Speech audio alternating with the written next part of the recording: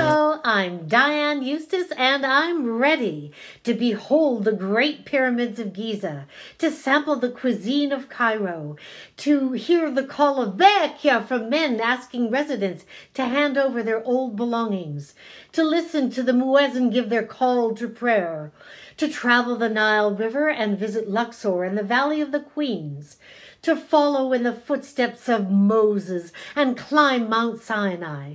I'm ready to marvel at the lost city of Petra, to travel on the back of a camel across the Wadi Rum desert and sleep under the stars in a Bedouin camp, to travel below sea level and bathe in the azure waters of the Dead Sea, and take a day trip to Jerusalem.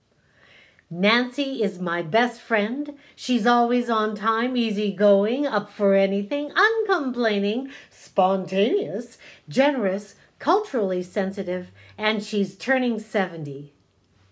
I am passionate about lifelong learning, physically and mentally prepared for this journey, excited to celebrate Nancy's 70th birthday, and I'm ready. Thank you. And here's something to make you smile.